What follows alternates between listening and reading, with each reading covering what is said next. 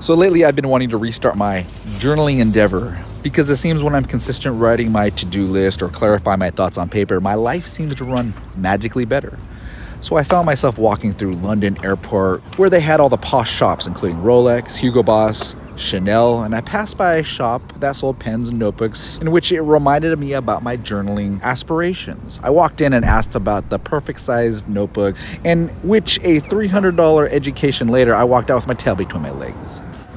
This Amazon Basics professional journal, the black book you're seeing right here, I mean, we all struggle to stay journal committed, so practice with this. I mean, is a quality $300 notebook better to the point where it will improve your journaling skills, your journaling experience? This Amazon Basics journal is more than adequate. It has tearaway pages, so if you believe you're a an up and coming Picasso and want to hand out samples of your art, just buy this and improve your journaling art and everyday life skills at a fraction of the price.